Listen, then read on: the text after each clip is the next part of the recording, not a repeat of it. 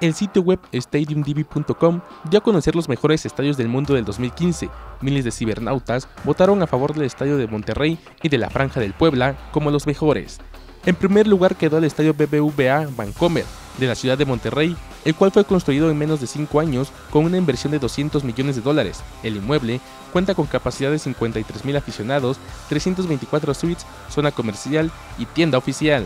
Con 41.000 votos, el Estadio Cuauhtémoc ocupó el tercer lugar con su reciente remodelación.